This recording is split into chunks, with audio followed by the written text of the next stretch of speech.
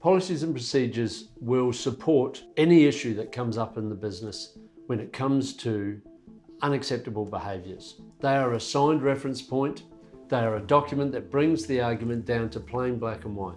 If they, that behaviour is outside of the policy, then it's a performance management issue.